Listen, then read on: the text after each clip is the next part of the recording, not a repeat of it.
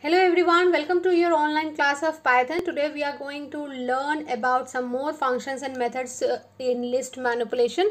We have already learned few methods in the last video and we are going to learn few more. So to start with the method which is the index method. The index method is basically returns the index of a particular number or element which is present inside the list. So let us define the list first of all. I have opened the Python shell here in the interactive mode. You can see I am defining a list list here which is containing three numbers 1 2 3 so let's print the list first of all. You can see that when i print list it is giving me the answer as 1 2 3 suppose i want to know the position of the uh, number 2 so it will be find out with the help of the index method. So i'm writing list dot index and i'm writing 2 so you can see that the the index of the number 2 is 1 as we know that the index starts from 0 in python so the index of 1 will be 0 index of 2 will be 1 and the index of 3 will be 2 if you want i can check it for number 1 also. So let's see.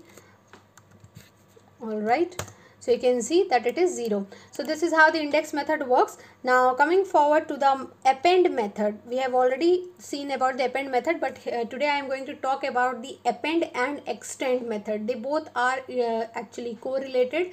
You can say only a few differences there.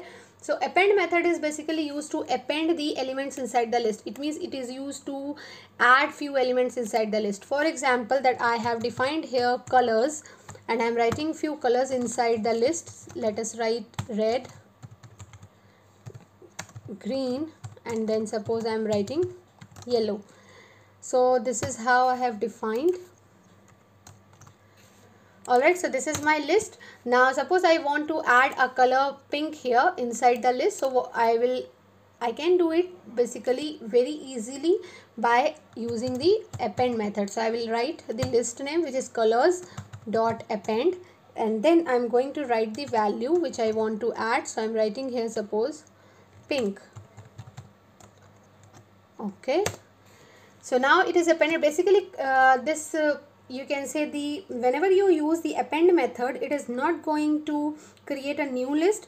Uh, however it will only modify the existing one. So the colors list the name colors is already modified. So let us print that list colors. You can see here that it is modified. If you want to add more it will again add the next color to the line. Suppose I am writing here purple. Alright so let us print colors again. You can see that it is added. Now one more thing is there that you can add only a single element inside the list with the help of append method. But when you use the extend method we can add multiple elements inside the list one at a time. So let's see the extend method. Okay so now let us see the extend method. I am going to define here suppose vowels. I'm defining a list of vowels here. And i will write here a e and then i'm writing here i. So three vowels i have taken inside the list. Now i'm going to add two more. So i'll take here some another variable.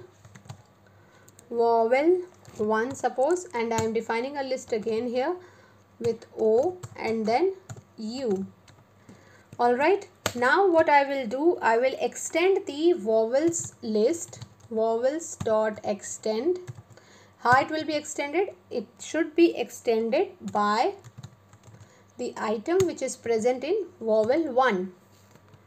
Alright, so I have written vowels the first list which I defined there uh, were three vowels inside it. Now I want to extend that list by two more vowels. So I have defined two more vowels in the another variable which is list type.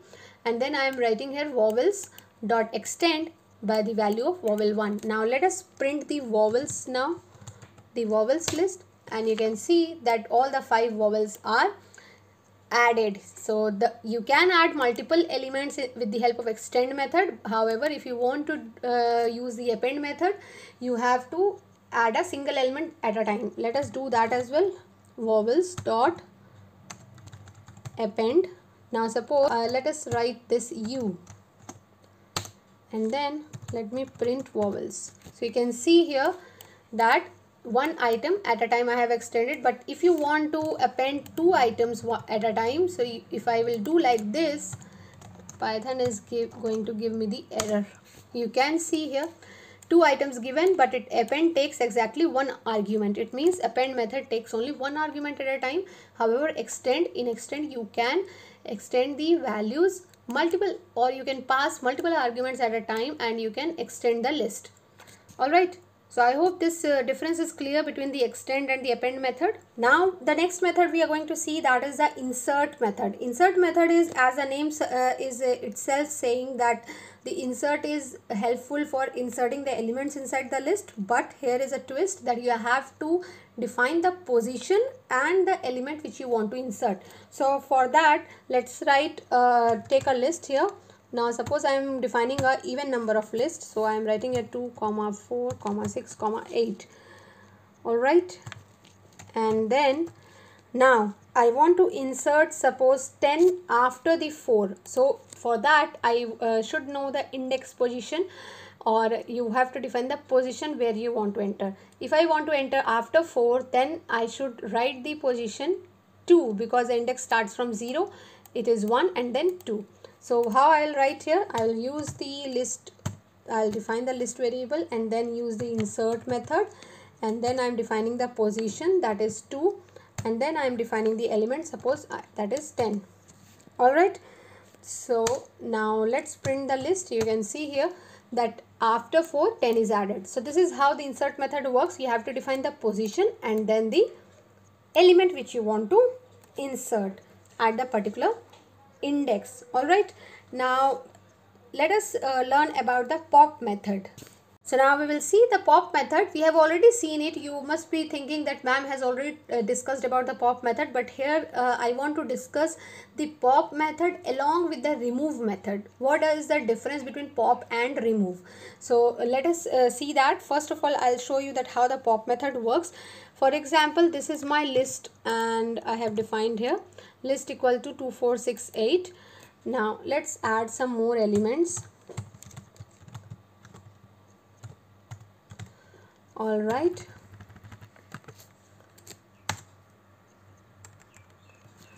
Okay so this is my list which I have defined. Now to use the pop method we know that the pop method delete the elements from the list and it returns the element also. So if I do like this list dot pop and then if I write the you can say the uh, index. Then suppose if I have written 3 so uh, or 4 all right so i've written 3 so what is the index uh, value which is present in the index 3 0 1 2 3 this is 8 so it will return you the 8 and that will be deleted as well. Now let's see that how the remove uh, method works and how the remove method works as compared to the pop method pop actually removes an element whose position is given means whose index is given it removes that element. However in remove method you can remove the particular element. Suppose uh, what about that if i know that i want to delete this number 10 and i don't want to get into the index position? If you want to get it deleted with the help of index position then you have to use this pop method.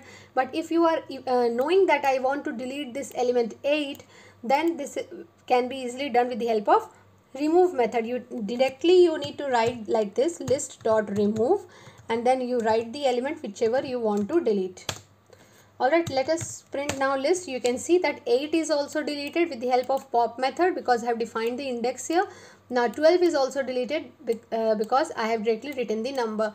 So the list new list is containing the numbers which is not including 8 and 12 which was in the index position 3 and here I have included the number to delete so this is how the pop and uh, remove method are different.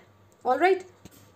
Now let us see the next method which is count method. Count method basically returns the count of the item which is passed as an argument. For example that if I have a list here which is containing a particular element twice or thrice and I want to count that how many time it is present. So I am changing the list over here. I am writing here 6 and then suppose I am writing here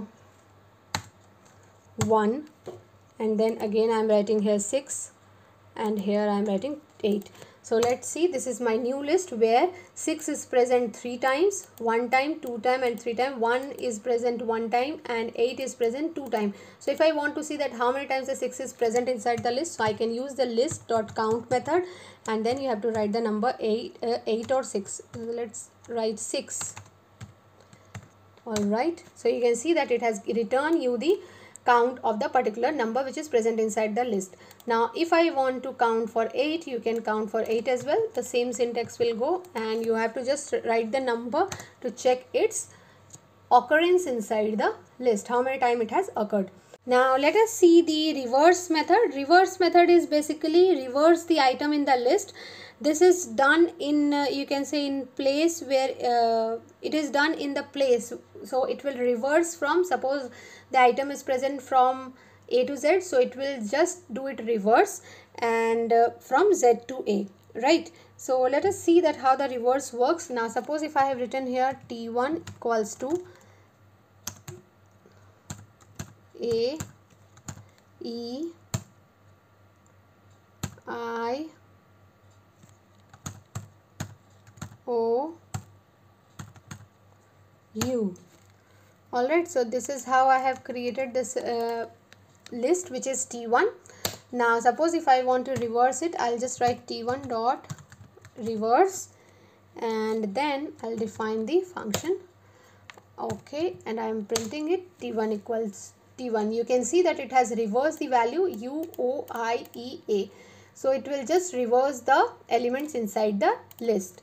Now the last method which I'll talk about that is the sort method. So it is helpful for doing the sorting. This function sorts the item in the list. By default it is in increasing order. It means in ascending order. Now if you uh, want to sort it in descending order then I'll talk about that also. So let us see first of all how we can sort the item. Now suppose this t1 list is reversed. So I want to sort it out. So I'll write here t1 dot sort.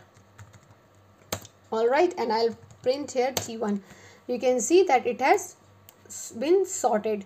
Now suppose any name whichever you want to write. So for example let's write here t2 equals to and i'm defining the numbers here 21 12 32 1 9 90 and then suppose 5 all right. So this is my list. Now suppose if i want to sort it in ascending order so i'll do like this. Let's print the t2 you can see that the numbers are sorted. So this is how you can sort the elements of the list. So now if you want to sort it in decreasing order using sort you have to write it like this that t2 dot sort and then reverse equals to true. Now reverse equals to true when it the reverse will be true so it will automatically be sorted in descending order because you can see that the reverse reverses the number. So first of all what it will do? Suppose i write here t2 dot sort and, and then I am writing reverse function is equals to true value. So let's see how it works. T2 dot sort is going to sort the numbers in ascending order. Alright, so this will be sorted. Now if I want to sort it in decreasing order, so the reverse will be true. So now it will be reversed from here. So it will show you the answer in decreasing order. Let's print and then see the output. You can see here the list will be sorted and then it will be printed in reverse order. So this is how this reverse and sort function works. So that's all about the method and now uh, you can see that the chapter is finished. So we are going to talk about some list programs in the next video. Till then practice all these methods and functions at home. If you are having any kind of problem you can get back to me. Stay safe, stay happy. Thank you so much.